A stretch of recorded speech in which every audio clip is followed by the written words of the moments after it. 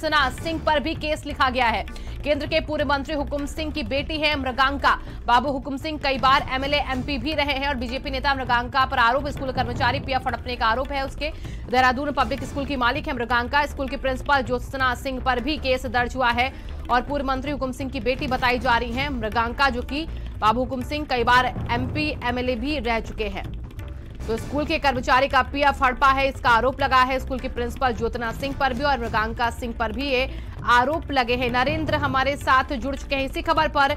नरेंद्र, यहाँ पर आरोप जो लगे हैं, इसके बाद जो कर्मचारी जिसका पीएफ हड़पा गया, उसने क्या कुछ कहा है? देखिए, ये कर्मचारी दो साल पहले तक इनके स्कूल का एक एम्प्लॉय था। और उसका कहना है कि उसके वेतन से जो पीएफ कटता था वो उसकी राशि करीब पचास हज़ार रूपए थी। जी। वो उसको नौकरी छोड़ने के बाद नहीं मिला है।